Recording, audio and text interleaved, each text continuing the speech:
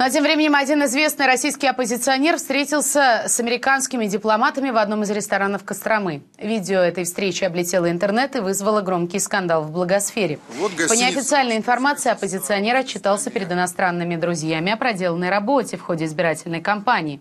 Однако эта встреча без галстуков длилась недолго. Когда остальные посетители заметили, что оппозиционный политик беседует с американцами, он быстро из ресторана вышел.